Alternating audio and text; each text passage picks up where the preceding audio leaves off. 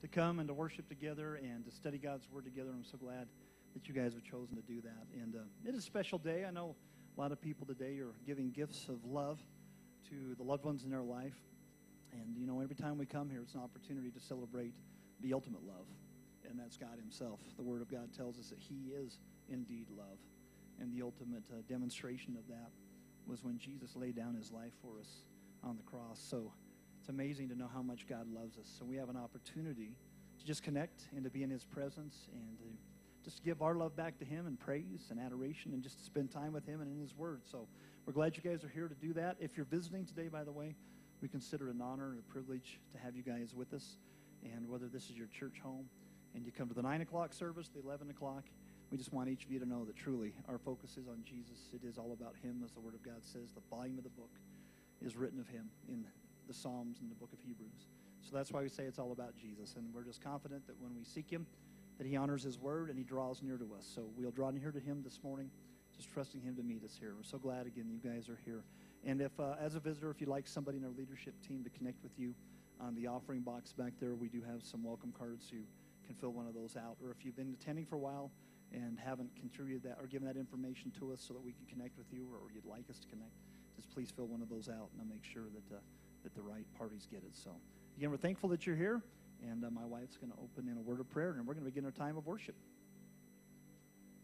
Dear Lord God, we just humbly come before your throne of grace. And God, we just thank you that we have this time to come together to spend time in worship to you, Lord.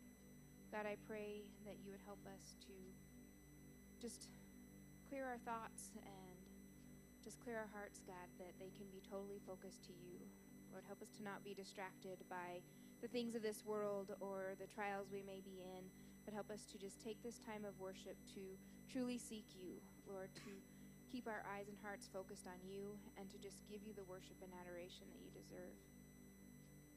Lord, it's just overwhelming to us that the God who created the universe, the God who spoke everything into creation at just the sound of his voice, God, that you are sitting there waiting for us to come into your presence and to spend time with you.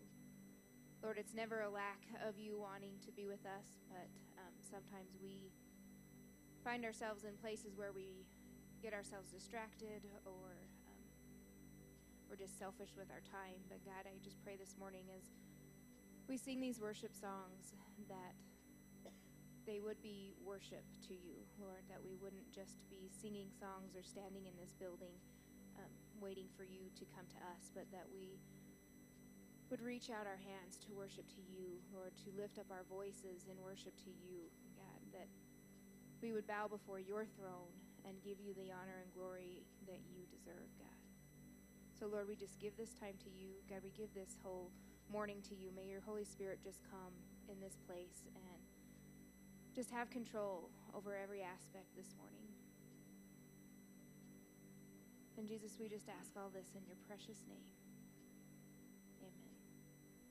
And you can remain seated or you can stand. During our time of worship, the main thing, of course, is the attitude of our hearts that we would uh, desire to worship in spirit and in truth. And uh, this first song just really gets us off on the right foot. Speaking of love, it's because of God's love for us. And it's the reason that we're here, because He loves us so.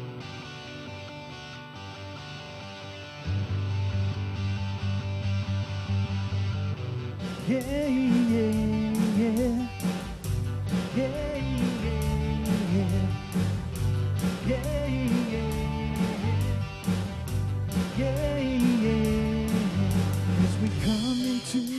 presence. We remember every blessing that you poured out so freely from above. With gratitude and praises for compassion so amazing. Lord, we've come to give you thanks for all you've done. Because of your love, we're forgiven. Because of your love, our hearts are clean. We lift you up songs of freedom. Forever we're changed. because of your love. Yeah, yeah, yeah, yeah. As we come into your presence, we remember every blessing that you poured out so freely from above. In gratitude and praises for compassion so amazing. Lord, we've come to give you thanks for all you've done. Because of your love, we're forgiven. Because of your love, hearts are clean. We lift you up, the songs of freedom. Forever we're changed because of your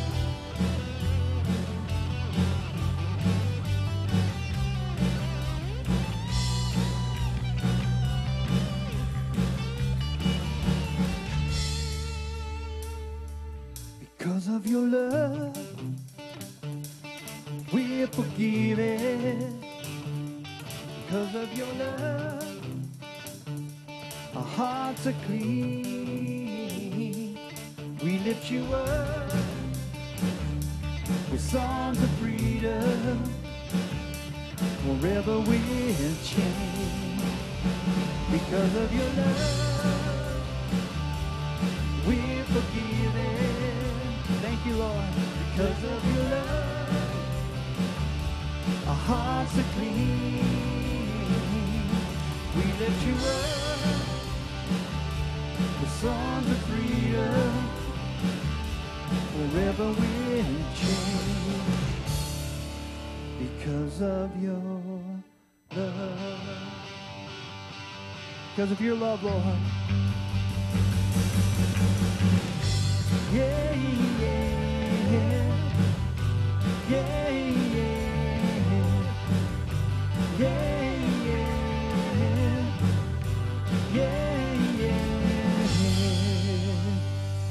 Because of your love, God, you are the faithful one that loves us more than we could ever comprehend.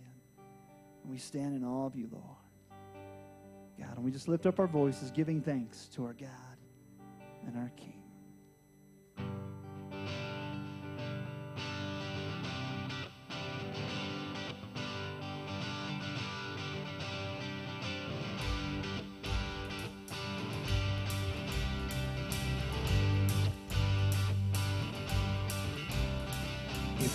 To the Lord, our God and King. His love endures forever. For he is good, he is above all things.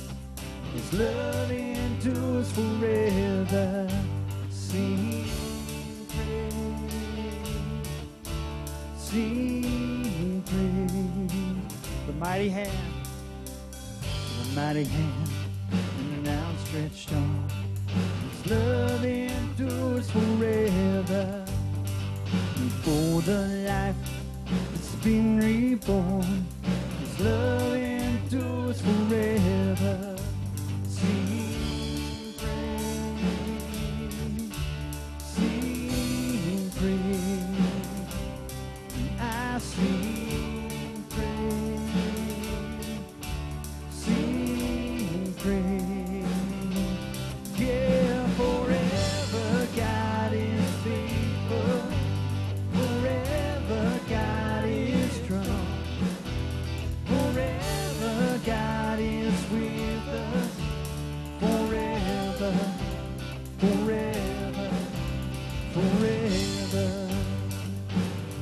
You're faithful, and we just praise you from the rising to the setting sun.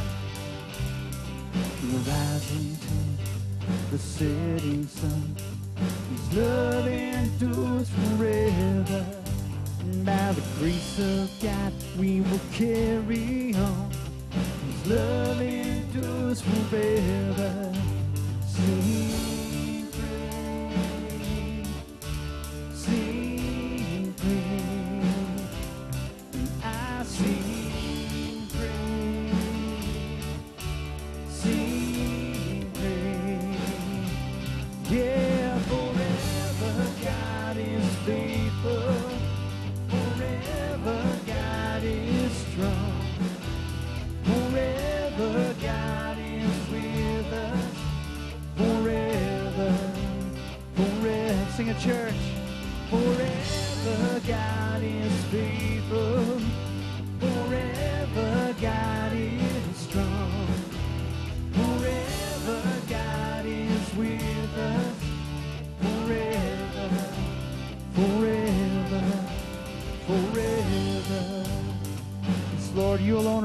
so we give you thanks.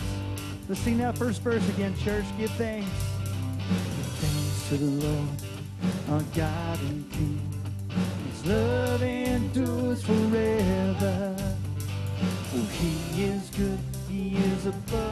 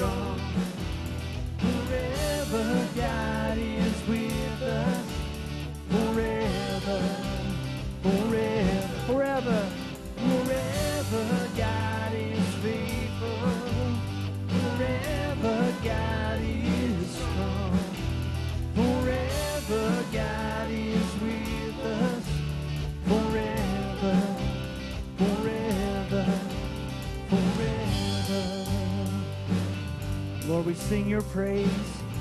Sing it, church. Lift up your voice.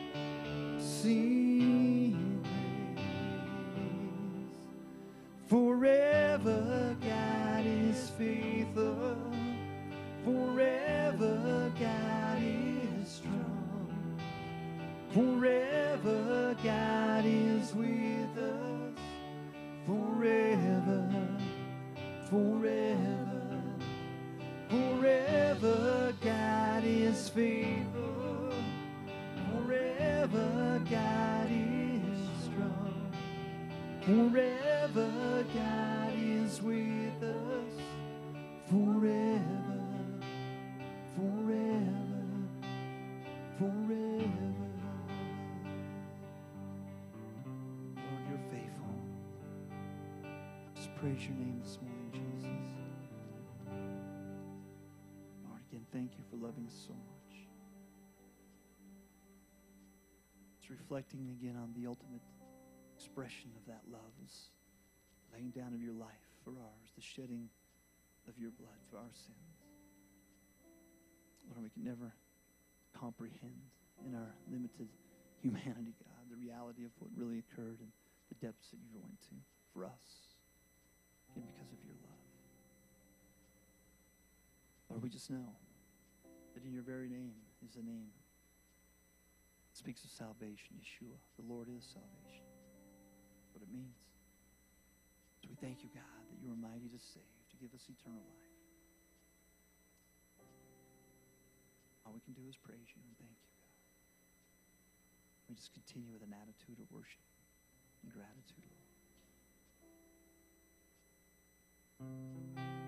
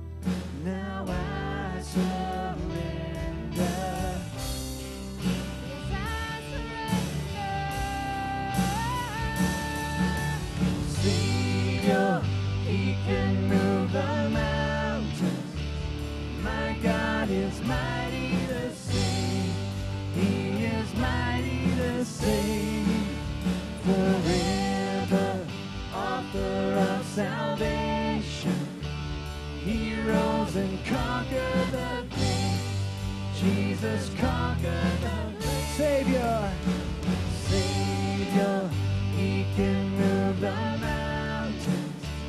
My God is mighty to save. He is mighty to save. Forever, author of salvation. He rose and conquered the grave. Jesus conquered the grave. He rose and conquered the grave. Jesus conquered the grave. Shine your light, shine your light and let the whole world see. We're singing for the glory of the risen King. Jesus, shine your light let the whole world see. We're singing for the glory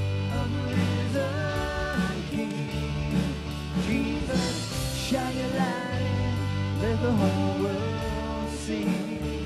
We're singing for the glory of the risen King. Jesus, shine your light and let the whole world see. We're singing for the glory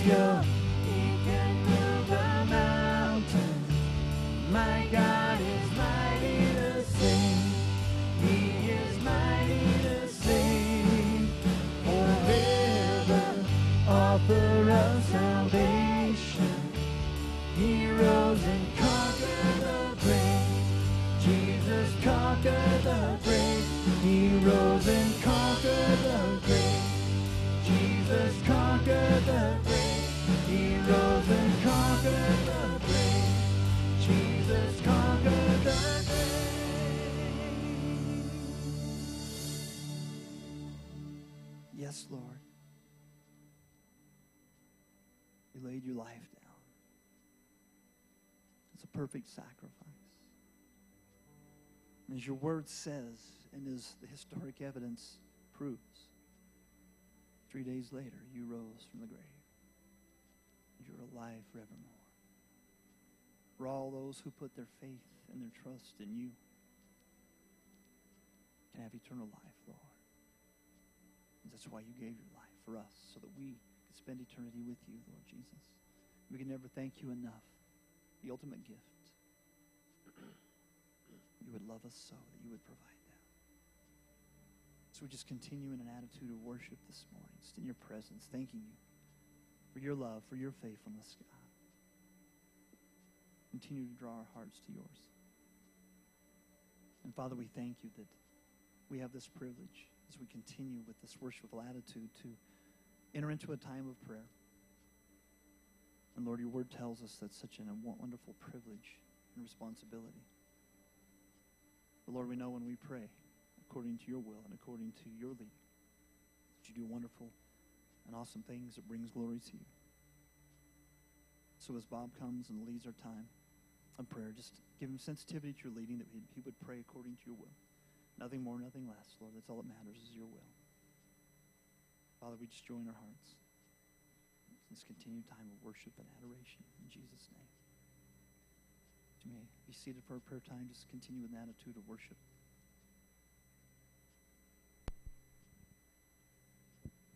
Good morning.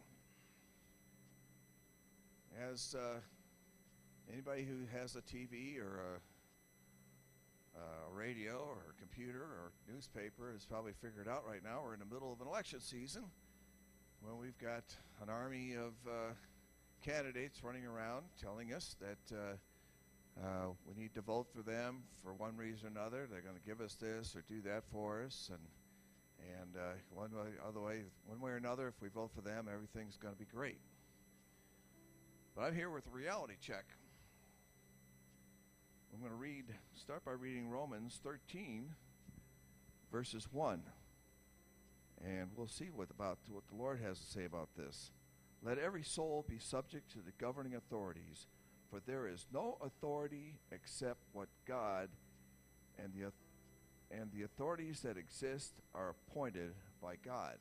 In other words, God gives us the leadership that we deserve.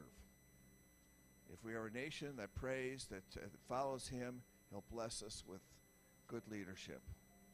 And if we're a, t- a nation that le- turns a blind eye and follows our own paths, He's going to not so bless us with poor leadership. So I see what's going on in the world today, and I say this is a nation that deser- doesn't deserve blessing, we deserve judgment. Well, I'm going to follow that up with what with what we should be looking for. Instead of looking to candidates to make our lives better, you know, a couple, last couple of weeks, um, my basic my messages have revolved around keeping our eyes focused on the real source of our blessings. Keeping, in other words, keeping our eyes on the prize, what really counts in this world. And I'm going to read a, a chapter here from Psalm 23, which should be extremely familiar to most of you. The Lord is my shepherd, I shall not want. He makes me to lie down in green pastures. He leads me beside the still waters. He restores my soul. He leads me in the paths of righteousness for his name's sake. Yea, though I walk through the valley of the shadow of death, I fear no I will fear no evil, for you are with me. Your rod and your staff, they comfort me, and you prepare a table for me in the presence of my enemies. You appoint anoint my head with oil, and my cup runs over. Surely goodness and mercy shall follow me all the days of my life. And the best verse of all is the last one, and I will dwell in the house of the Lord forever. The idea here is keep our eyes focused on something that really matters, our Lord. And let Him be your candidate. Let Him be your guide. And whatever we're faced with in this world, Lord will see, Lord will see us through. And we have a destiny with Him that two seconds after you leave this world, that's all that's ever going to matter. Everything that went on down here is going to mean almost nothing. Let's pray. Dear Heavenly Father, we thank you so much, Lord. We have a God that loves us. He loves us so much that not only did He send His Son to die for us, He wants us to know Him. He's given us everything we need, Lord, to have a, a close relationship with Him, Lord. We, we, uh, you've given us the, your Word so we can know You. We can know what our destiny is, Lord. Uh, you've given us guidance to guide our lives so that uh, we can live a happy and fulfilled life, Lord. Lord, we just are so awed by your your love and your caring for us, Lord. Lord, we thank you for this place of worship. Lord, we thank you that uh, you've given us a, a town where we can worship and, and uh, in safety and peace. Lord, they know that's not so true for so many of our brethren around the world, Lord. We raise these people up to you, Lord. Believers all over the world that are being harassed, persecuted, murdered, you name it, Lord, uh, chased from their homes. Uh, we raise these people up to you, Lord, and ask that you'll bless them and, and comfort them and protect them, Lord. In the same frame, Lord, we want to pray for Israel. Israel, this tiny little nation. And uh, we know their destiny, Lord. We know that you have determined that they are they'll back in the land forever. and it, uh, no one's going to chase them out, Lord. We ask that you'll be with them, protect them, raise up leadership for, for them, Lord, that know the Messiah. And Lord, we just we'd like to pray for our military, uh, our firefighters, our policemen, those that are are uh, that are uh, put over us to govern us and to protect us, Lord. Yes, you'll be with them, Lord, and uh, take care of them, Lord. Lord, we ask you'll be with the teachers in this church as they teach the kids and, and ask that you bless them. And we thank you so grateful for all the people in this church that have risen up to, to help serve. Lord, we ask you to be with Phil today as he teaches your the Word of God, Lord. Inspire him, be with him, make it clear.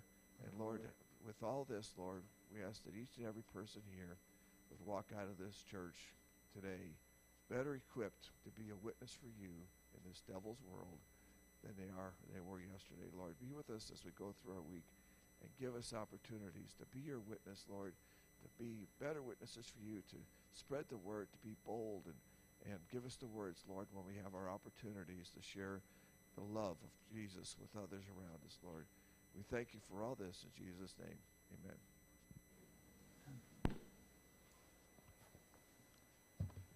Thank you, Elder Bob. Good stuff, my friend. Touch it up.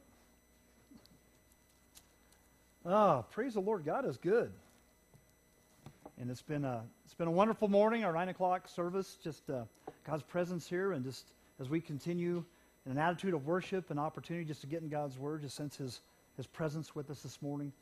And God's Word is true that if we uh, humble ourselves, if we'll seek Him, we'll draw nearer to Him. He will draw near to us, and and uh, just sense that this morning. And I'm glad you guys are here to be a part of of this particular service as we continue in our study of God's Word. But before we get into the Word this morning, and by the way, we're going to get back on track with our study in the book of Daniel. Absolutely awesome study. So, just a couple of things to bring you up to speed on uh, some developments and where we're at. Uh, by the way, these are sitting here. I better point the attention to this huh, before I forget it. How can you miss this, right? uh, some wonderful people in our fellowship have been overseeing a project for what, about the last month? Is that right, Michaela? Uh, so we've got Michaela and Jamie and a whole host, a whole team of people that have put together these Valentine bouquets. Now, ladies, that's the kind of bouquet you want, right? I don't know. That's I like that. It looks good. but they've been doing these. okay, my wife warns me that doesn't mean it's mine just because it's right here. But uh, these guys did this. The, the, fundraising event went very well. Of course, it's for the Guatemala missions trip that's in July. We have uh, 40 people that are going to be going to Guatemala in July. And there wound up being, I think, eight or nine that were left over. Some orders were placed, people didn't pick up. And so uh, if you guys would like one, please see Kayla, Michaela after. Wait, oh, we're down to six. Oh, that's cool. So see Michaela, raise your hand, would you? And uh, she'll get you hooked up with those after the service is over. And just know that, again, they're only $15 a piece, but the funds go to the Guatemala missions trip, which is a very worthy endeavor. And uh, it's going to change lives. People who've ever gone on a missions trip, you know the impact it has on you personally when you go and you serve the Lord. And then, of course, you have the opportunity to serve other people. The impact you can have on them, too. So it's a win win deal. So that's the deal there. I'm going to set that back here. I better lay it down, but it doesn't fall down, right? Also, uh, women's ministries tomorrow because it is a holiday and kids are out of school. There will not be any women's study tomorrow at 11 or 6 o'clock. You guys will get back underway on that. Next Monday, we are on track Wednesdays. We've got two more weeks in this prophecy series we've been doing on Wednesday nights. And then the first Wednesday in March, we'll begin our James study. Really excited to get into that. We've got the study guides in. And uh, we'll put up a sign up sheet out in the foyer next week to uh, gauge the interest on that so we make sure we've got enough study guides. We've been averaging about 20 to 30 people and adults on Wednesday night, so it's been great for a midweek study, and uh, it's going to be awesome. What an awesome book James is. Practical Christian living, authentic Christian living is the heart and the focus of that. Also, in terms of opportunities, to have an impact in our community because you'll hear it here. If you're part of our fellowship, you've ever visited, or you're here, you hear us talking about being the hands and the feet and the heart of Jesus, making an impact in the world. Not just being here to be fed, but once we're equipped and we're in God's Word, to be willing to go outside of these four walls and to be used of the Lord to have an impact in people's hearts and lives. And so when there are opportunities that come up, not only for us individually, we encourage you to take those opportunities that the Lord directs, but then we also have corporate opportunities. And uh, March the 6th, we've secured the event center, the new convention center. If you've been in there before, you know it's, a, it's an absolutely wonderful state of the art facility that's been provided for our community. But we'll be doing the live simulcast of Harvest America. Pastor Greg Laurie, who is a Calvary pastor out in California. Most of you are familiar with Pastor Greg, Greg Laurie. And uh, he's been doing crusades for years, just sharing the gospel. And there have been thousands and thousands of people who've responded and accepted Christ because it gives a very clear, concise, biblical proclamation of the gospel, the need for Jesus, and thousands of people have responded. So we're going to be partnering with that. It'll be live broadcast from Dallas uh, for the Cowboys play. I know there's some Cowboys fans here this morning, and you know, actually, you should be fans right here, Super Bowl champions, baby. so we'll be praying for you guys. but that stadium's going to be packed, probably about 80,000 people there, and then all around the country, they're going to be uh, solid Christian churches hosting events, people doing it in their homes as well, uh, just inviting people to come. Where uh, there'll be some wonderful music. Mercy Me, a lot of you familiar with Mercy Me. They're absolutely wonderful. Switchfoot, uh, actually, part, the Switchfoot guys, they come out of Calvary Chapels as well. And then also uh, Lecrae, Garrett's shaking his head. Lecrae is going to be a part of that as well. And then Chris Tomlin will lead worship before Greg shares the gospel. So it's all live, and the, the, the equipment at the convention center, state of the art, it's amazing. Crystal clear presentations on the projection. It's going to be the next best thing to being there. So uh, we've got a little video thing I want you guys to play, if you can. Just kind of give you an idea of what's going on with this to kind of set up for that. And we've got several weeks to prepare for this. And we'll have some more information for you next week as well. Every year, people of all ages are passing into eternity at an alarming rate. People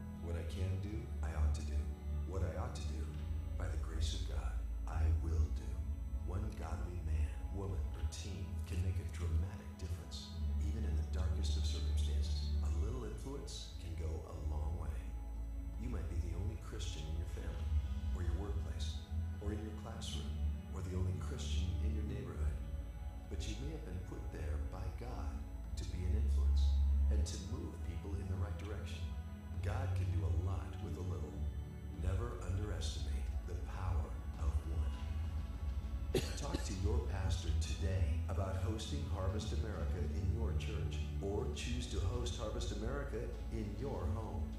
Invite friends, family, and neighbors to your host location to hear the life saving message of the gospel. Together, we can make a difference in our nation. One day, one church, one message.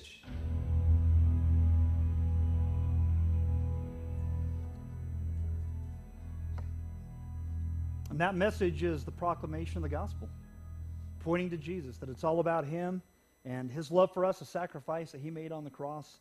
And we all know people who don't know Him. We all know people who, if they were to pass now, they don't have eternal life. And so the first thing we should do is we should pray. And we can pray. We need to be praying for loved ones. Ask the Lord to put it on your heart, people to pray for. Then also invite people who come and hear the gospel, and then bring. Pray, invite, and bring. And uh, again, we're, we're trusting the Lord is to move in the hearts of a lot of people, and uh, excited to see what He's going to do with that as the word is given and the proclamation of the gospel is declared. So it's only a few weeks out. Man, the spring is coming quickly. Are, are you guys liking the longer days, the warmer temperatures? Bring it on, huh? we're looking forward to it. So again, be praying about this and what God's will would be in all of this. And one last thing before we dismiss our middle school and junior high class and fourth and fifth graders is uh, we're going to have a bit of an update on the building project next week. It's going to be small, concise, but uh, we have gotten into a phase where we're a little bit behind, behind schedule, and it's with our architectural and engineering phases. A couple things that had to be revisited. We had actually anticipated that by now we'd probably be uh, in the framing phase, and the Lord has provided the funds for that. So we're just we're in a holding pattern, and so it looks like the way things are trending that it's going to be late March because everything, you've got to dot all your T's, cross your T's when you've got engineers, architects, and all the approval that has to go on because there's permitting for every phase. And this is permitting for the interior. The exterior has been uh, closed out and approved, it's done. And so now we're moving into that, but things have just gotten behind schedule with, again, our architectural and engineering aspect of it. And that's out of our hands. So just be praying. Timing is in God's hands. And we're excited because the Lord has provided everything for the framing phase. And also, He's provided for the next phase. So I'm going to share a little bit about that next week. That in spite of the economy and the challenges that are being experienced in this area, the Lord is faithful. He is Yahweh Yireh. The Lord is our provider. And uh, we don't do fundraisers. We don't do anything to manipulate or pressure anybody. We always teach about the tabernacle and God's faithfulness to stir hearts, and He's been faithful to do that. So we're excited about what He's doing, but the most important thing, it's all about Jesus. That's just a place, right? It's just a place, just like this is just a place. The most important thing is that we're here to seek Him and to grow in the grace and knowledge of Jesus. So with that, let's dismiss our middle school and junior high and fourth and fifth grade classes. You guys can head on out. Appreciate our teachers who are investing in them. And of course, even while they're going out, remember that there are kids in our nursery next door and our preschool classes right now and our CKC, and that's first through third graders. They're already over there right now, just learning and growing. Continue to pray for our children. Pray for those who invest in our kids and serve them so faithfully. And as Bob said, we have a wonderful group of people who've made themselves available to serve. And we've got over 50 people who are part of our leadership teams who serve and teach in these various ministries and serve at some capacity. So I am very thankful that the Lord has raised up these wonderful, godly people who, uh, who serve, serve us and serve Him most importantly. So with that, open your Bibles to Daniel chapter 3. We're in Daniel, this amazing book in the Old Testament. We've spent a couple of months here and we've really torn it apart. That's why it's taken a while to get through chapters 1 and chapter 2, but there's so much depth there. And so we wanted to make sure that we were doing a comprehensive breakdown and a study of God's Word. And then we had a, a couple of weeks off. And I do appreciate Bob Barton, one of our elders, who uh, did a two part series over a, a, few weeks when uh, I was out of the loop with my family for our daughter's uh, drill team competition. This is our last rodeo. Our daughter Paige is a senior, and our daughter Erin's a sophomore, but this looks like it's our, our last go around after four years. So we appreciate you guys giving us the opportunity to spend that time together as family. And Bob has been so diligent in preparing and teaching on the Abrahamic covenant the last two times he taught. So I bet you guys were blessed by that. And it's just an important thing as well. So now, with that in the rearview mirror, we're in Daniel again in chapter 3. And as we always do, I like to read through the text first, give you an understanding, the big picture of the verses we're going to be breaking down and opening up. So we'll do that now. Then we'll come back and we'll look at le- de- le- uh, length and the depth. I was just I was trying to combine those two words. Doesn't work very well. so here we go. Daniel chapter 3, beginning in verse 1. King Nebuchadnezzar made a gold statue 90 feet tall and 9 feet wide and set it up on the plain of Dura in the province of Babylon. Then he sent messages to the high officers, officials, governors, advisors, treasurers, judges, magistrates, and all the provincial officials to come to the dedication of the statue that he had set up. So all these officials came and they stood before the statue that King Nebuchadnezzar had set up. Then a herald shouted out, People of all races and nations and languages, listen to the king's command. When you hear the sound of the horn, flute, zither, lyre, harp, pipes, and other musical instruments, bow to the ground to worship King Nebuchadnezzar's gold statue. Anyone who refuses to obey will immediately be thrown into a blazing furnace. So, at the sound of the musical instruments, all the people, whatever their race or nation or language, bowed to the ground and worshiped the gold statue that King Nebuchadnezzar had set up. But some of the astrologers or Chaldeans went to the king and informed him on the Jews. They said to King Nebuchadnezzar, Long live the king! You issued a decree requiring all the people to bow down and worship the gold statue when they hear the sound of the horn, the flute, zither, lyre, harp, pipes, and other musical instruments. That decree also states that those who refuse to obey must be thrown into a blazing furnace. But there are some Jews, Shadrach, Meshach, and Abednego, whom you put in charge of the province of Babylon. They pay no attention to you, your majesty. They refuse to serve your gods and do not worship the gold statue you have set up. Then Nebuchadnezzar flew into a rage and ordered that Shadrach, Meshach, and Abednego be brought before him. When they were brought in to Nebuchadnezzar, he said to them, Is it true, Shadrach, Meshach, and Abednego, that you refuse to serve my gods or to worship the gold statue I have set up? I will give you one more chance to bow down and worship the statue that I have made when you hear the sound of the musical instruments.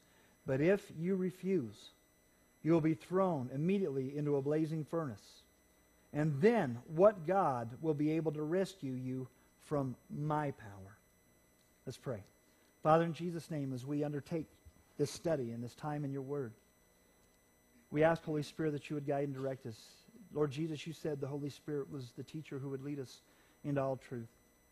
So we ask you would guide and direct us, Lord, that you would give us sensitivity to your leading, and again, you would be the real teacher. God, we thank you for your word. It's living and active, it's powerful, and we pray that as we study these historical realities that occurred 2,500 years ago, we know that your word is living and there's a practical application for us. So, Lord, just speak to our hearts. May we be enriched and equipped through our time in your word. And again, may you be glorified in our lives and in this study. And we pray these things, Father, in Jesus' matchless and holy name. Amen. So we go back to the beginning of this chapter. And if you recall, the last time we were here and we closed out Daniel chapter 2, we saw that reality of Nebuchadnezzar having a dream. And he saw this image in this dream, and it freaked him out. He didn't know what was going on. So, what did he do? He went to his astrologers, he went to those who were part of his occultic team of counselors, and asked if they could come, but not only to interpret the dream, but they had to give him the dream. They had to tell him what the dream was. So the pressure was on. Of course, nobody could do that. None of his counselors, none of those who made up that unique group of people who were his advisors and counselors. And by the way, again, their source of information was from the enemy, it was occultic. They had no place to go. There was nothing they had to offer. So Daniel is brought to the forefront, remember? And because God is with him, and that's what he told Nebuchadnezzar, that there's not a man who could tell you, but there is a God in heaven, and he's the one who can tell you. So Daniel is the instrument, not only told Nebuchadnezzar what the dream was, but he interpreted it for him. And so, with that in mind, we jump into verse 1 of chapter 3. Now, King Nebuchadnezzar made a gold statue 90 feet tall and 9 feet wide and set it up on the plain of Dura in the province of Babylon. So, in the theater of your mind, try to uh, take that in. That, that's tall, folks. That's tall. you know, you drive by, I talked about the building project. When you drive by the building, the worship center, if you'll notice that, where it peaks and pitches at the, at the center, that's 45 feet tall. So, this image is at least twice that tall 90 feet tall. So, it was an attention getter. You could not miss it.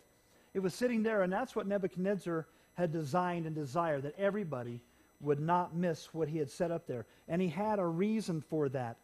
Now, it's interesting that the statue was made completely of gold. Now, if you recall, going back to Daniel chapter 2, when Daniel did give the interpretation of the, the image that Nebuchadnezzar had seen in his dream, it was made up of a gold head. And Daniel had told him that God was showing him that he was the head of gold, and so was the Babylonian Empire. Then there was an inferior kingdom that would come after that, the, the Medes and the Persians, made up of silver. Then there was a third kingdom that was represented by the, the bronze, and then, of course, the legs of iron, the Roman Empire. And then ultimately the feet made up of a combination of clay and of iron. So what does he do? He sets up a statue, but it's not made up of four different elements. It's made up of gold, period. Now, why would he do that? Do you think he had in mind something relating to the dream that he had, or the interpretation that, that Daniel gave? I think there's a connection. But this isn't something that happened a week later or a month later, chapter 3, on the heels of chapter 2. This is probably about 10 years at least since what we saw happening here, 8 to 10 years. Some scholars believe it might have been a little bit longer than that. And one of the reasons this happened is we know historically in the chronicles of the Babylonians that there was a coup attempt against Nebuchadnezzar. Of course, he put it down. And this guy was a cruel and a vicious dictator, and he had people killed all kinds of uh, uh, dastardly ways. I mean, these guys are evil and they're mean, and they did wicked things. If you remember when we were talking in Daniel 2 about all those counselors that came to Nebuchadnezzar and they didn't have the answer for him, he was going to have them all killed, remember? And he was going to actually have Daniel and Shadrach, Meshach, and and Abednego killed as well. But because they had the answer, they were spared. And they asked that the king would spare all the other ones. But how he was going to have them killed, and this was part of what they did, one of the ways, and it's kind of gruesome, but they would take trees and they would pull four trees together and tie the tops together. I mean, they were strong trees, so they would have plenty of torque when they released, but they would tie the people onto them with a limb on each one of those trees. And then they would cut it loose, and, well, you can imagine. Not a pretty imagining, right? But that's the kind of stuff this guy did. And, and to think that somebody would try to overthrow him, you know, that's pretty scary that they would even want to do that. But it was put down. And so what he does is he sets up this statue to tell everyone in his kingdom that he is the king. And they will pledge their loyalty to him. And one of the ways they're going to do that is that they're going to bow before the statue and they're going to worship this image. By the way, there's definitely some uh, prophetic elements of that, eschatological aspects of that too. And I'm going to save that till next week. There's typology here relating to the last days, stuff that's yet to be fulfilled that's going to happen in the time of the end, and we know it's rapidly approaching. So I'm going to save that till next week when we close out Daniel chapter 3. So we set the stage for what's happening here. And when it says in verse 2 that then he sent his messages to the high officers, officials, governors, advisors, treasurers, judges, magistrates, and all the provincial officials to come to the dedication of the statue that he had set up, it speaks of eight different groups of people who served in his kingdom. It's a lot like the cabinet under a president or people who had government rules uh, or positions. And when some of your translations say satraps, as the first group, there are high officials, high officers. They were given the responsibility of making sure that the realm was protected, that the king was not overthrown. So he calls the highest guys all the way down to the lowest guys who are part of the provincial rule. And by the way, historically, we know there were over 100 provinces in Babylon at that time. So scholars believe there were in the neighborhood of probably 250, 300,000 people gathered on the plains of Dura that were all part of serving Nebuchadnezzar and ruling in his kingdom. That's a lot of people, folks. I don't know if you've ever been in a group of people that big.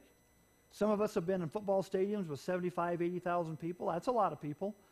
But I've never been in a group of people where there were 300,000 people. That'd be a lot of people. So it's against this backdrop that we find the situation and this image, the statue has been erected. So we find in verse 3 So all of these officials came and stood before the statue that King Nebuchadnezzar had set up. Do you think any of them dared not to come? no, they knew who Nebuchadnezzar was. They knew that his rule was absolute. They knew that the consequences of not coming would be catastrophic. So we find again, as they purpose to come in verse 4 then, but once they arrived on scene, and you have this towering image, thousands, hundreds of thousands of people gathered on the plain of Dura, that it says in verse 4 that then a herald shouted out, People of all races, nations, and languages, listen to the king's commands. So, uh, your attention, please. What you're about to hear is very, very important. And regardless of what your ethnicity is, your background is, what you, your language you speak, wherever you come from, give an ear because your life depends upon it. When you hear the sound of the horn, the flute, the zither, the lyre, the harp, pipes, and other musical instruments, bow to the ground to worship King Nebuchadnezzar's gold statue. Verse 6 Anyone who refuses to obey will immediately be thrown into a, a blazing furnace. So, no pressure, right? uh, you do this or you, you, you bow or burn. You've heard that terminology before, right? Have you ever heard that? Bow or burn. It's amazing the different catchphrases and sayings that people have had in cultures down through the years. So much of that stuff comes from the Bible. We'll see later on where uh, the writing is on the wall. That comes from an episode later on in, in the book of Daniel as well. And people still use those phrases even today. But this is where this comes from. If you did not bow to worship this statue, this image that Nebuchadnezzar had set up, then this is what would result. You would be thrown into this blamey, blazing furnace. So here they are. They're gathered. This, this furnace is there. It's operational, it's up and running, anticipating that if somebody doesn't obey, then they're going to suffer the consequences. So, what do we find? In verse 7, it says So at the sound of the musical instruments, all the people, whatever their race or nation or language, bowed to the ground and worshiped the gold statue that Nebuchadnezzar had set up. So, in the theater of your mind again, you can imagine all of these people getting on their faces before this statue. And this immense, what I envision, immense symphony or worship team, if you will, playing. And they're responding to that. By the way, you know, worship is, is a crucial thing. All cultures and societies, most people love music, right? The reality is, God gave us music. And the reason He gave music, by and large, is for worship. To worship Him, the one true living God. But you know what the enemy does and humanity does? They take and they pervert. And you don't have to look very far to see a lot of perverted stuff dealing with music and even the use of it in false religions and false worship systems. And that's exactly what was going on here. The worship of false gods plus the worship of this image. So, against that backdrop, with all these things happening and all these people bowing, we find this in verse 8. But some of the astrologers, some of your translations may say Chaldeans, unique class of advisors of people who served Nebuchadnezzar. They went to the king and informed on the Jews. They said to King Nebuchadnezzar, Long live the king. And that was a customary greeting from that culture in that time period. And by the way, if you wanted to have favor in the king's eyes, you know, that's probably a good thing to say, right? Live forever, king. that's a good thing. Because otherwise, if you didn't, he'd probably, he might take you out. So they said, Long live the king. But they reminded him of the decree in verse 10. You issued a decree requiring that all the people that they would bow down and worship the gold statue when they hear the sound of the horn, the flute, the zither, lyre, harp, pipes, and other musical instruments. They reminded him of a second aspect of that decree. That decree also states that those who refuse to obey must be thrown into a blazing furnace. But there are some Jews, Shadrach, Meshach, and Abednego, whom you have put in charge of the province of Babylon. They pay no attention to you, your majesty. They refuse to serve your gods and do not worship the gold statue you have set up. So, pretty dramatic setting. Again, hundreds of thousands of people. Do you think those guys might have stood out? Everybody else has bowed down, and these three Jewish guys are standing there, not doing it. You know, if you want to see a really awesome in-depth treatment of this, you need to check out VeggieTales, Rack Shack, and Benny. That's, that's classic. That's good stuff. That's deep theology. but that's really good stuff. So here they are, and you know what? These guys, the, the astrologers, a lot of these guys who made up the servant class of Nebuchadnezzar, those counselors, these astrologers, the Chaldeans, they were mostly, by and large, people who were uh, Babylonian. And most of these guys hated Daniel, Shadrach, Meshach, and Abednego. And they seized an opportunity to come against these guys. And they were going to utilize this opportunity. There was some jealousy there. I'm sure they were familiar with what happened. And you would think that if any of these guys were part of the situation 10 years pri- previously, when Daniel, and it says also that Shadrach, Meshach, and Abednego were there as part of that, and were also put in positions of authority, that they would be thankful because if it wasn't for Daniel stepping up, they would all been dead. But no, they hated these guys and they wanted to take them out. And so, with the decree that Nebuchadnezzar had given, and his purpose with it was to make sure that his people who were serving him, people who were part of his government, and the people who were part of his nation were loyal to him, and that they would worship him, they'd worship the false gods that were part of the kingdom. And he was wanting to make sure that they were going to do just that, be loyal. So when all these people bow, Shadrach, Meshach, and Abednego, they did not. And these tattletales went to the king and informed. And what did they say again? That latter, verse 12, let's read that one more time. But there are some Jews, Shadrach, Meshach, and Abednego, whom you have put in charge of the province of Babylon, making sure that he knows exactly who these guys are. They pay no attention to you. So the contempt is there. They're, they're actually building this up. They pay no attention to you, king. And I think they were trying to make that a broader thing, more than just that particular circumstance and issue with the image that had been set up. But they're trying to up, undermine these guys all the way around. They pay no attention to your majesty. They refuse to serve your gods and don't worship the gold statue you have set up. So there we go. He's informed about the situation. What is the response in verse 13? Then Nebuchadnezzar flew into a rage. This guy was volatile. When he flew into a rage, and the word says he flew into a rage, that wasn't a pretty picture. Heads were going to roll. In this case, bodies were going to burn, right?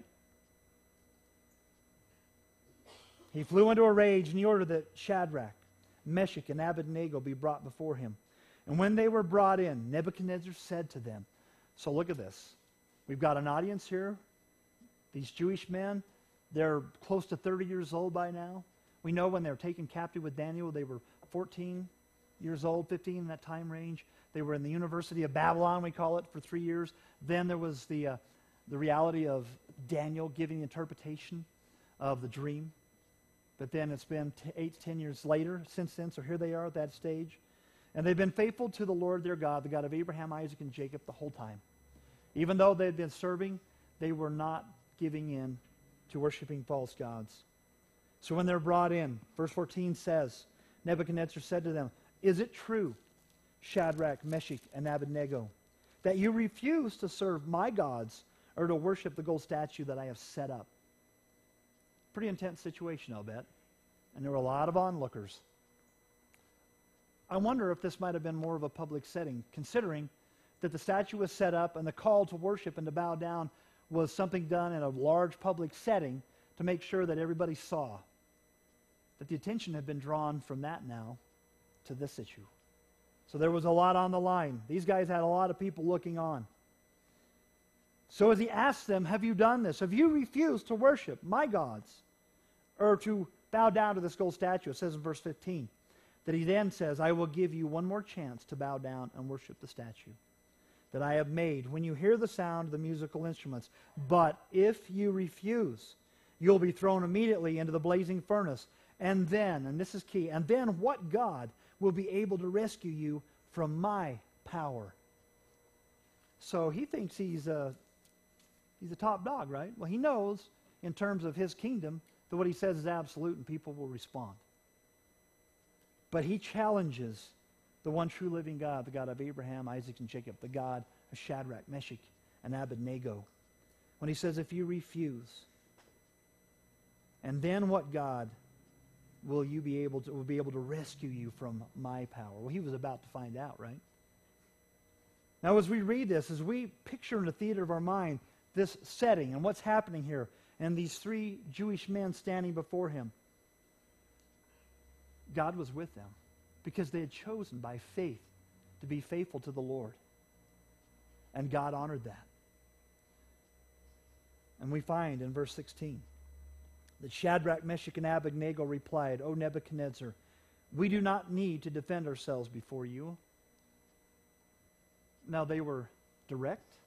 I'm sure they weren't arrogant. They were bold, which is they had confidence. But why? Because the Lord their God was with them. But when they said, we have no need to defend ourselves before you, because he said, hey, you know, we're not going to try to make any excuses. Now, you've, added, you've ordered this, and we're not doing it. It is what it is, O oh, king. That's what's going on here. It is what it is.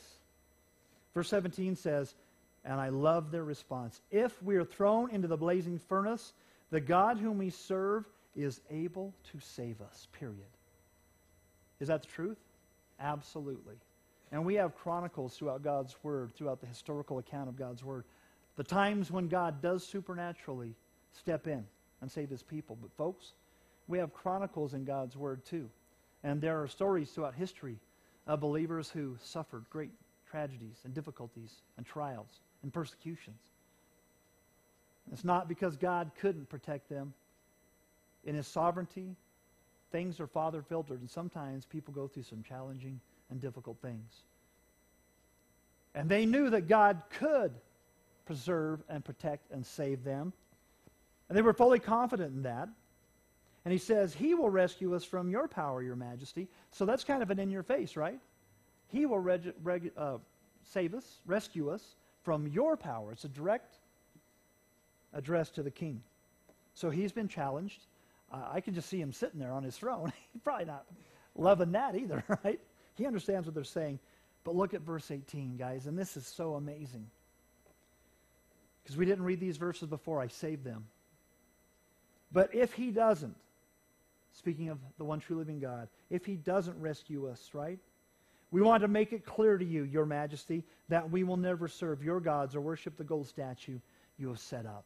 They were committed wholeheartedly to the one true living God, that they loved and they served and empowered them. That had to be the Spirit of the living God with them right there.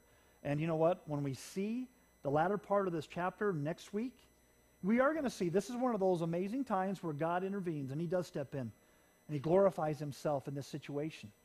And these guys have made that proclamation. But here's the reality practical application is that God can preserve and protect any of his people. And he's been able to do that throughout the ages. He's the one who spoke and said, Let there be, and the entire universe came into existence. He can certainly preserve and protect his people. But again, there are times where he doesn't. And people wonder, Where are you, God? What's going on? I don't understand what's happening here.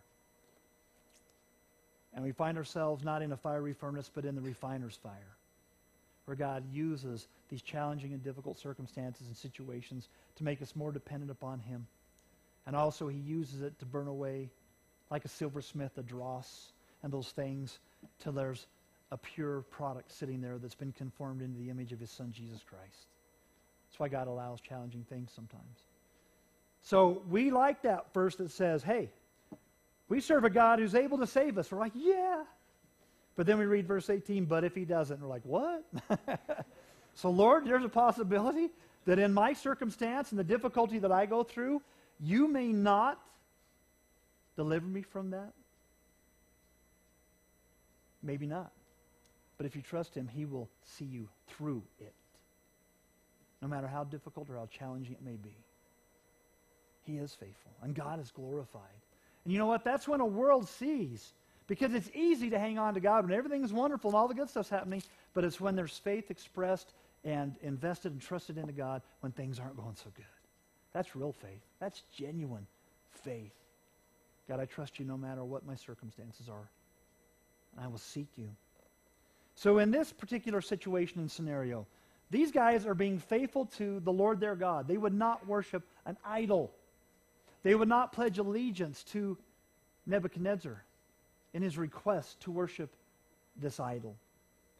And when I see this, what about contemporary situations that we find in our world today? You know what? You and I, again, something we've addressed many times, and there's, there's reason for it. We live in, in freedom. We are so blessed to live in America, and yet our freedoms are being eroded. Make no mistake. If you're not paying attention, our religious freedoms are being eroded. And if you're not watching, one day you may wake up and find yourself in a situation where you've got people saying, uh, do it this way or else.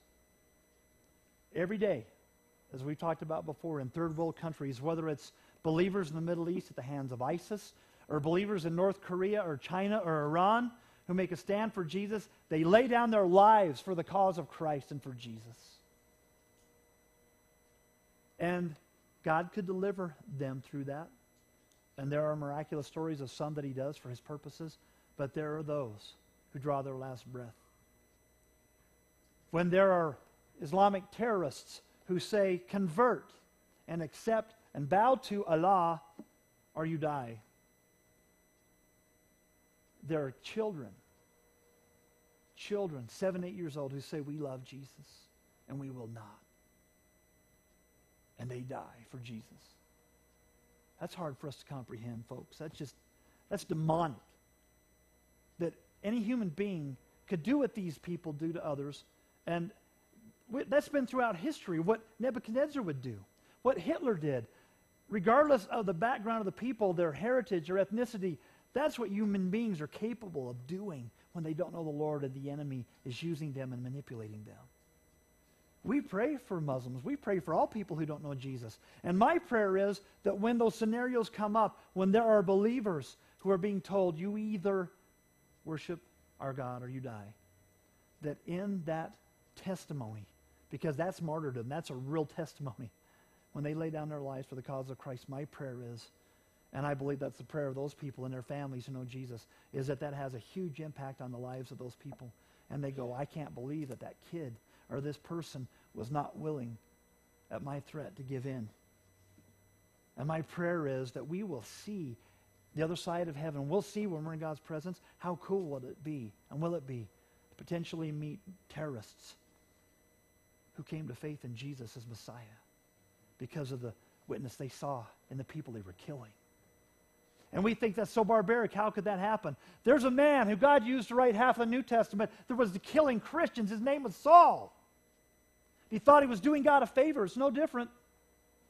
Until Jesus opened his eyes in Acts chapter 9, he had an encounter with the one true living God, and he realized Jesus was Messiah, that he had been raised from the dead, and God used him. You talk about a 180, a new creation in Christ, and God used him in an amazing way, right? That's what God does. He transforms, He gives new life. So, in the midst of our challenges, folks, how would we potentially respond? Go with me to Acts chapter 4. I want to go to uh, a new covenant example of believers with Jesus having come who are facing persecution at the hands of officials who say, do this or else. And there's certainly some similarities with what we find with Shadrach, Meshach, and Abednego, and them coming before Nebuchadnezzar. And so, to set the stage before we jump into Acts 4, what we find here is a historical account of Peter and John. In chapter 3, they've come to the temple in the afternoon for a time of prayer. Customarily, that was what the deal was. And for years and years and years, there'd been a lame man at the gate going into the temple who couldn't walk. And it was 30 plus years this guy was in this state. And he depended on the kindness and the generosity of those who were going in and out to provide for him. But God had a divine appointment that day for Peter and for John and for this man. As they're entering in, the Word of God tells us that Peter caught his eyes and they engaged each other. And that this crippled man, probably assuming that if he engages them, that maybe they'll give him some, something to help him in his need, some alms, as it's called for the poor. So when he looks at Peter, Peter says, Silver and gold, I don't have any of that. But what I do have, I give you. Rise and walk in the name of Jesus of Nazareth. Can you imagine that, folks? Hundreds, probably thousands of people in the temple area. Peter reaches down, grabs him, and as he rises and as they uh, express faith, the Lord meets this man in his crippled state and brings strength to his muscles and to his bones and he's standing, and before you know it, he's dancing and praising the Lord. And he's been crippled for 30 some years. You think that's an attention getter? And everybody who had been used to coming in and out of the temple, they knew this man's state. They knew that was a miracle. And what it did was it provided an attention getter. And as the people are drawing around, wondering what's going on, Peter then sees the opportunity, led by the Holy Spirit, to proclaim the gospel and to share that this man was raised and he was healed because of Jesus by the power of Jesus, right? So he shared the gospel, and more people came to faith in Jesus. At Pentecost, in Acts chapter 2, 3,000 got saved. And we're going to see here as we jump into Acts chapter 4, this is the response on the heels of Peter sharing and God moving. In verse 1 of Acts chapter 4, and by the way, the narrative is so clear. And right, by the way, God's word is what matters, right? Not what a man has to say, what God has to say. So I just love reading these verses. It speaks for itself. In verse 1, it says, While Peter and John were speaking to the temple at the people, they were confronted by the priests, the captain of the temple guard, and some of the Sadducees. So who do we have here? The high council, the Sanhedrin. By the way, Paul's probably part of this group. Saul, we'd call him at that point. He becomes obviously much more involved later on. But it's unique to think that he was a witness to these things. These were the guys, many of them, who were responsible for Jesus' crucifixion. That's who confronted them. Peter and John knew who they were. Verse 2 said, These leaders were very disturbed that Peter and John were teaching the people that through Jesus there is a resurrection of the dead. Sadducees really hated that because they didn't believe in a resurrection. Pharisees did, but not Sadducees. So that's why it says they were torqued. Verse 3 says, They arrested them Peter and John, and since it was already evening, they put in them in jail until morning. But many of the people who heard their message believed it. So a number of the believers now totaled 5,000 men, and that did not include or count women and children. So, man, the Lord is moving. The Holy Spirit is moving. People's eyes are being opened to Jesus being the Messiah, that he's been raised from the dead. They're coming to faith in Christ. Verse 5 says, The next day, the council of all the rulers and elders and teachers of religious law met in Jerusalem. They had a quandary. Annas, the high priest, was there along with Caiaphas, John, Alexander, and other relatives of the high priest. Those names, Annas and Caiaphas, should be familiar, right? When Jesus was arrested in Gethsemane and he was brought before who? Annas the high priest, and Caiaphas. These guys were part of the kangaroo court. Those three, uh, by, by the way, according to Jewish law, even illegal things that they had before for Jesus' trials. It was in that setting that they beat him and that they ripped his beard out of his face. Isaiah gives us some insight to that. So by the time he left there and they'd been spitting on him and punched him, and they tore the beard of his face, he was already a sight. But then he would go on to be scourged and to be beaten even worse, till the point when he would take up his cross to begin to make his way to Golgotha, as Isaiah prophesied, he would be so badly beaten, you wouldn't even recognize he was a human being. That's how bad it was. But he did that all for us. These guys were part of that scene that night. Peter and John, again, knew that. So it says in verse 7 that they brought in the two disciples, Peter and John, and they demanded, By what power and whose name have you done this? So, you know, we're thinking back to uh, Nebuchadnezzar, Shadrach, Meshach, and Abednego. Uh, hey, guys, they're being called on the carpet. What are you doing? And that's exactly what's going on here. What if you're ever called on the carpet? What if just in your workplace somebody says, in a very antagonistic way, I hear you're one of those Jesus loving Bible thumpers. You know, I, I, those terminologies just crack me up, by the way. I don't know about you, I never thump my Bible. I read it a lot, I study it a lot. But yeah, I mean, it's just, it's just, uh, it's just people, you know, being antagonistic. And they get in your face. Say, are you one of those? Do you love Jesus? Do you believe in Jesus? Is that, is that you one of those guys, girls, youths? How would you respond? Because right now in America, that's probably as bad as it would get. Unless you're in a junior college in Oregon, where a man walks in a room and says, Anybody here a Christian? And the first one said, Yes, I am, and he shoots them. And he goes down the line and continues to ask people, and the ones who said, Yes, I believe in Jesus, and he shot them. That happened last fall in Oregon, in that junior college, folks. That's in the United States of America that people were asked to make a choice for Jesus, and they did. Wow. They had no clue the minute before he came in that room that that could ever happen to them. And I'm not saying it's going to, but they can never imagine that. I believe that God meets his people right where they're at, just like he was doing with Shadrach, Meshach, and Abednego, just like with Peter and John. He meets his people when we say, Lord, I'm going to stand for you. Humbly, thoughtfully, but confidently because I trust you. God meets us and he empowers us by his Holy Spirit to stand up to that moment in time for his glory, right? And we have this wonderful reality right before us. Again, as the Sanhedrin, that they bring Peter and John and they ask, By what power and in whose name have you done this? Look at verse 8. Then Peter, what? Filled with the Holy Spirit. Guys, we need the Holy Spirit to empower us. The point we're saved, the Holy Spirit takes up residence in us. We're born again by the Spirit of the living God. Paul would say that do you not know that you're the temple of the Holy Spirit? So he indwells us. He comes inside of us. But the Word of God also tells us he's poured out upon us. It's empowerment to live for him. We see times where it said, and they were filled with the Holy Spirit. Paul said, be continually filled with the Holy Spirit.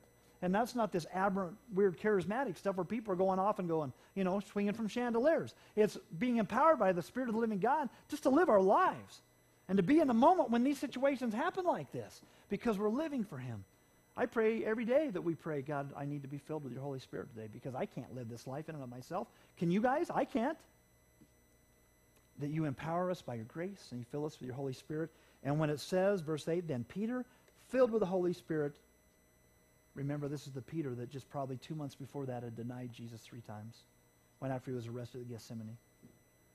The same Jesus, or Peter that even engaged Jesus across the courtyard as he was going through those trials and being brought out. It says that Jesus caught his eyes and they looked, and Peter began to weep convulsively because he knew he had denied him. Same guy, right? Who just said before, "Oh, they're not taking you out, Jesus." Uh, you know, if, if they try to, I'm, I'll, I'll give my life protecting you. So here's this Peter, but now Jesus has restored him. And the key here again is here's a man who just preached at Pentecost the gospel. Acts chapter 2, 3,000 were saved. Chapter 3 again. God provides an opportunity for this miraculous healing. He preaches the gospel, more people are saved. It's not Peter, it's not John, it's not Shadrach or Meshach or Abednego, it's not you or me, it's God. and it's God meeting his people where they're at. Isn't that amazing? And he was meeting them here. So when it says Peter was filled with the Holy Spirit, he said to them, rulers and elders of our people. So he begins to address their Jewishness, by the way, because Jesus was a Jewish Messiah. Are you being are we being questioned today because we have done a good deed for a crippled man? Certainly that wouldn't be the case, right? That's a good thing. Do you want to know how he was healed? Let me clearly state to all of you and to all the people of Israel that he was healed by the powerful name of Jesus Christ the Nazarene, the man you crucified, but whom God raised from the dead. Wow. Can you imagine being part of that scene? Witnessing that? Peter was confident and bold. He wasn't arrogant. But the Holy Spirit was using him, speaking to him. And he just put it there like it really was. And he said he was healed by the powerful name of Jesus, Yeshua. Christ is the Greek. Hebrew would be Messiah, Yeshua Mashiach, the Nazarene. So define clearly who they were talking about. This Jesus the Nazarene. And boy, he puts it in their face the man you crucified. Wow. And they were the religious leaders who had gone to Pilate and had set this up, wanted to have Jesus crucified. So there's a direct application, but we see in God's word too that we're all, folks, all of us, because there are a lot of people throughout church history who've tried to kill the Jewish people because they rejected Jesus as Messiah by and large, and they called Jesus or the Jews the Jesus killers. Uh, our sin killed Jesus. Doesn't matter where you come from or who you are, Jesus died because of all of us. And the enemies played that card. And even people like Hitler played a religious card and played that angle. It's been done throughout history where people try to kill the Jewish people and they play a religious card on that. But what he's saying here again is just their part that we're culpable for. But they said, he, they said, look, this is the man who was raised from the dead. Verse 11, for Jesus is the one referred to in the scriptures so he says, God's word says, and he goes back to the Old Testament scriptures, the stone that you builders rejected has now become the cornerstone. And these religious leaders would have understood what he was saying. They didn't like it, but they would have understood it. Verse 12 there is no salvation in no one else. God has given no other name under heaven by which we must be saved. Receive salvation. The name Jesus, again, that's the Greek or the English of Jesus, that's the Greek, and then the Hebrew is Yeshua. It's Joshua, Yeshua. Yehoshua means the Lord is salvation. When he says there is no other name given under heaven and earth by which a person can have eternal life, it's Jesus Christ. When he said, I am the way, the truth, and the life, it's exactly what he meant.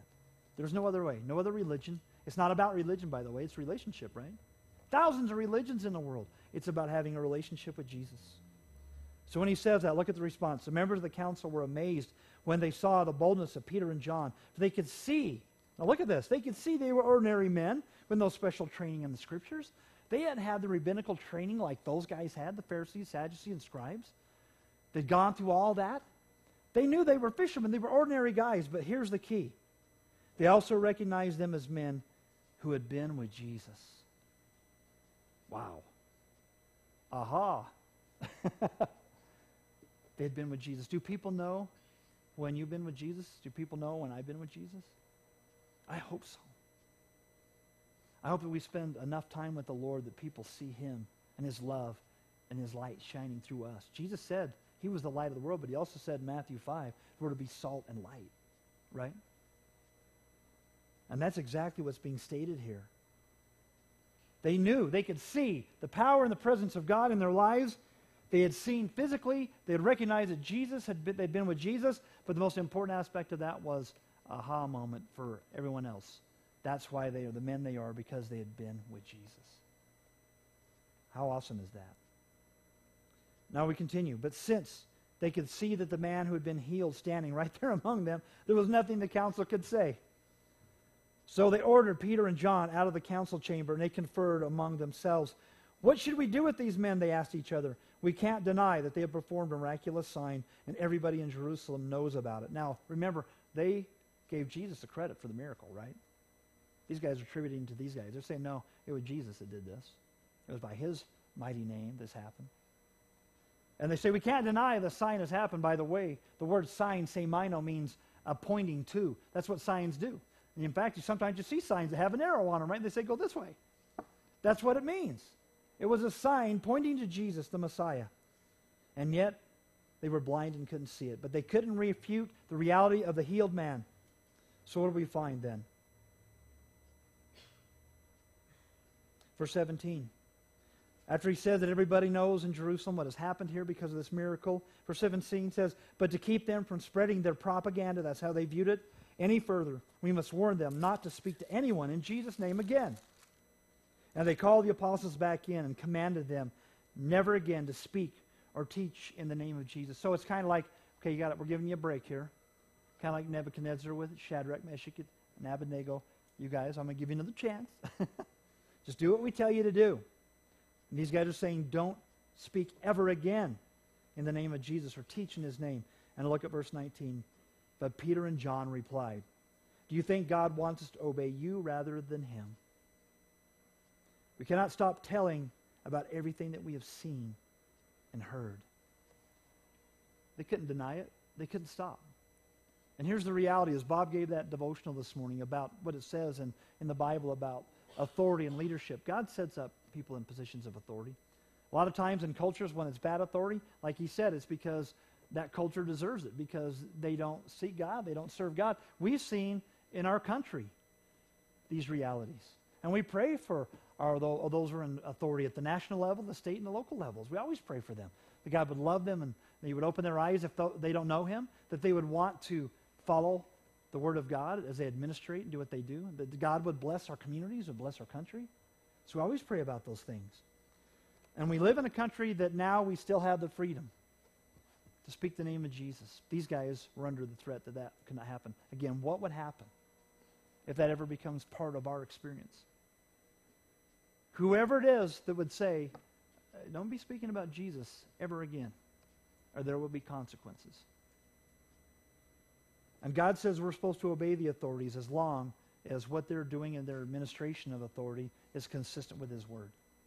But when they directly command people to do stuff that's outside of what God has commanded us to do, we see the response these guys gave. Do you think God wants to obey you rather than Him? We cannot stop telling about everything we have seen and heard. Same thing with Shadrach, Meshach, and Abednego. They couldn't deny their God, and they wouldn't. Folks, we need the world to see Jesus in us. No matter where we go, if we know the Lord, people need to say, you know what? I think they've been with Jesus. Perhaps they would say, I know they've been with Jesus. I see his love. I see the fruit of the Spirit in that person's life. I see a person being conformed to the image of Jesus. And again, when God does entrust trials into our lives, just like these guys are experiencing, by the way, they go on to continue to share and, and, they thank the Lord that they've been given the privilege to suffer for the cause of Christ because in the very next chapter, they get called in and this time they get beaten. And they're threatened again. Don't do that. Quit talking about Jesus. And this time they were beaten. And then we see that throughout Peter's or, John, or Paul's ministry when he came to faith in Jesus. How many times he was persecuted and beaten for the cause of Christ, and he never gave up. And that's that's a God thing. You know, in our humanity, we don't have the courage or strength to do those things. But when we've got a heart that says, Lord, I, I love you and I want to follow you wholeheartedly, He meets us and He empowers us. He fills us with His Spirit, and by His grace, He empowers us to live for Him. And folks, as we conclude our time in the Word today, we're going to transition into a into a time of communion. Because today, being a, a day people are thinking about love, Valentine's Day, right? Again, no greater love was ever demonstrated than the love that God showed us when Jesus himself died on the cross for our sins, when he was hanging on that cross. And in that connection that we have with him now, the, we're going to have some guys who are going to disperse the elements for you guys. And the worship team's going to come up. So you guys go ahead. Can you get the light? That'd be great. So when you get the elements, and up in the coffee house, up in the upper room there, there's elements up there for all you guys up there. When you get the elements here, go ahead and hold on to them. We'll take them together, but we're going to do a song before we do that. And this is an amazing song. It's a, it's a powerful song. It's a powerful song about Jesus' love and his sacrifice.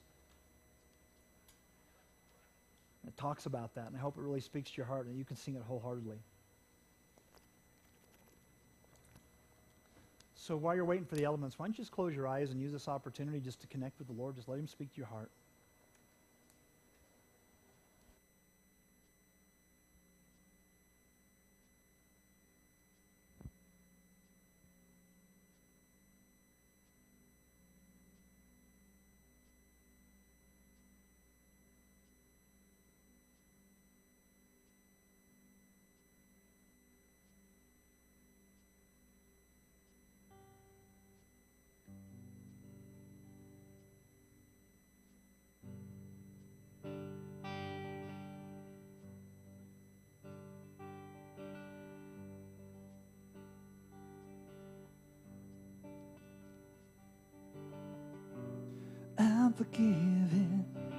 Cause you were forsaken, I'm accepted. You were condemned, and I'm alive and well. Your spirit is within me because you died and rose again.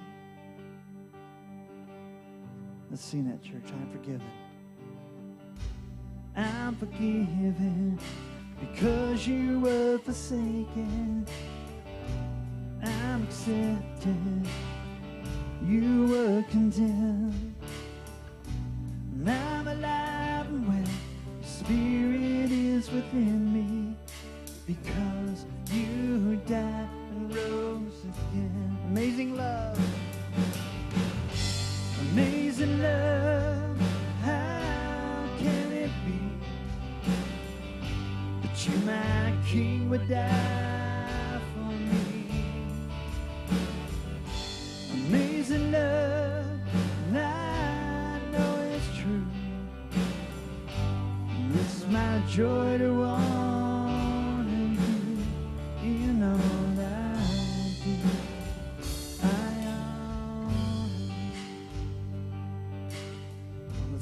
with all of our hearts. I'm forgiven.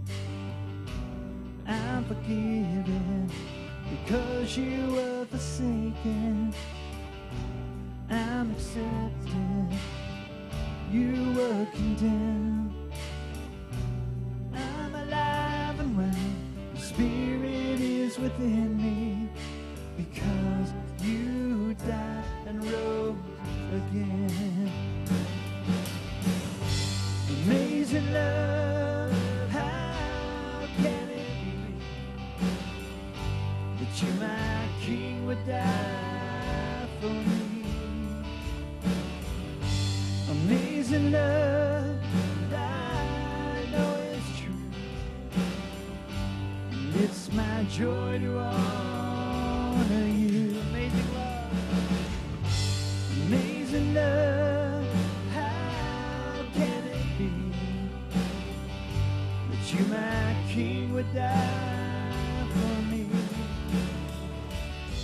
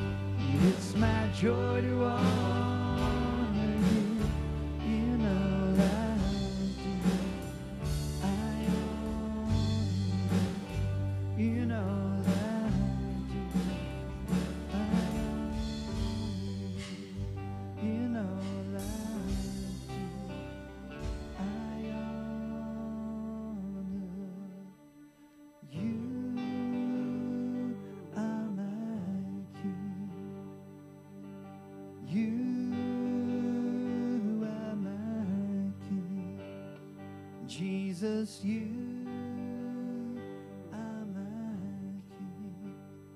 Jesus, you are my King. Lord, just the way the song says, I'm forgiven because you were forsaken, God. I'm accepted because you were condemned. You were the substitute in our place. And I'm alive and well, and your spirit, God, is within me, all because you died, your sacrifice, and you rose again. And we are amazed, as it says, amazing love. How, how can it be? How could it be, Lord, that you are King, would stoop so low, to humble yourself to become one of us, and to offer your life, the ultimate expression of love on the cross for us, for our sins, for the sins of all mankind. We stand amazed and we're in awe of you, Lord, and your love. As we come to this time of taking the elements and participating in communion, Lord, we spend a moment to reflect. Think about you on the cross, the state that you are in, all because of your love for us.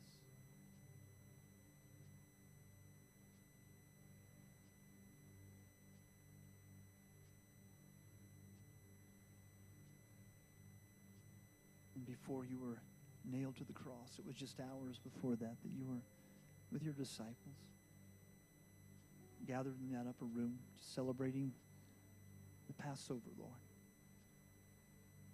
As the Jewish people had done for centuries, Lord, that reflection, commemoration of your faithfulness to set them free as captives. Prefer, to preserve their firstborn because of the blood of the Lamb over the doorposts of their homes. And there you were, the Lamb of God, about to give your life, about to shed your blood for our sins, Lord. And as you celebrated that Passover with your disciples, they couldn't have imagined the depths of what was about to happen, though you told them time and again that you must give your life. We thank you that you came the ultimate rescue mission. You fulfilled your plans your purposes your glory and for our benefit, Lord. And so as you were gathered with the disciples, you took the bread as part of the Passover and you blessed it. And according to the Jewish tradition, you would have said, Baruch atah Adonai Eloheinu melech haolam hamemtzi lechem min haaretz. Blessed art thou, Lord our God, King of the universe, who gives us the bread from the earth. Lord Jesus, you broke it. You gave it to your disciples and said, This was representative of your body that would be given for them and for us. And you said to take and to eat, and to do this in remembrance of you. And today, Jesus, out of obedience and adoration and love, we commemorate your sacrifice. And we too take and we eat.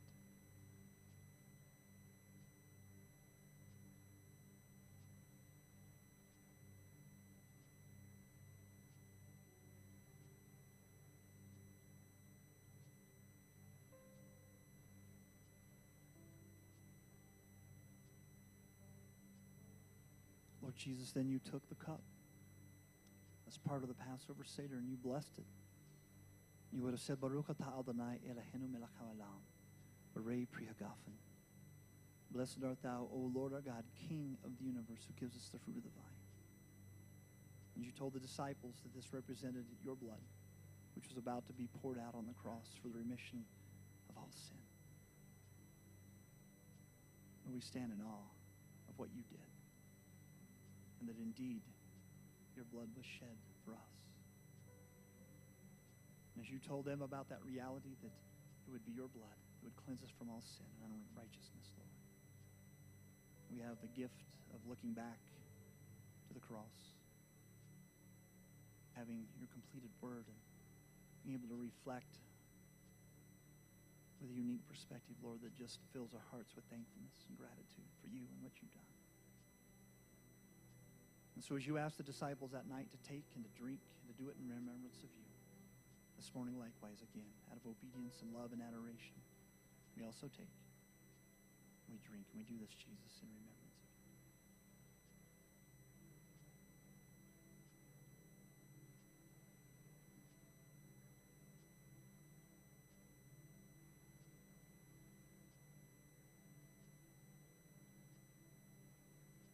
Father, thank you so much for this time that we've shared together today, Lord.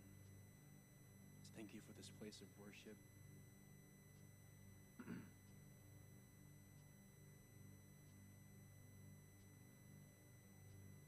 Jesus, thank you that you you show up in our lives in a mighty way. All we really have to do is just ask you, invite you into our lives and into our hearts. Come. Thank you for showing up today, Lord.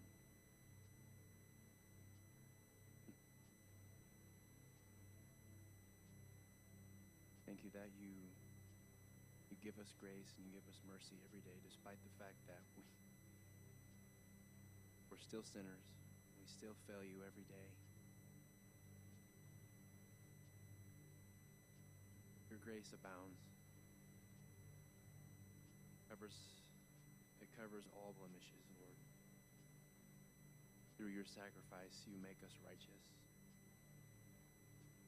Not because we deserve it, because you love us.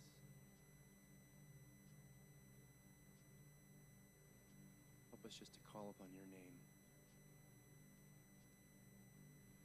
There is no other name, heaven or on earth, by which we can be saved. Is your name, the life.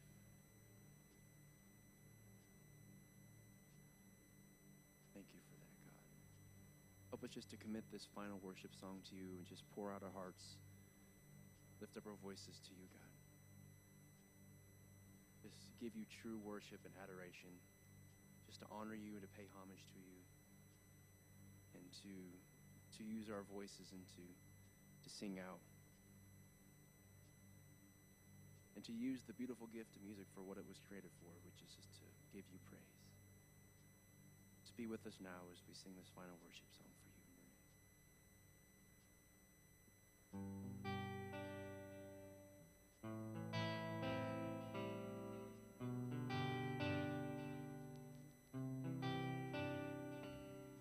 He became sin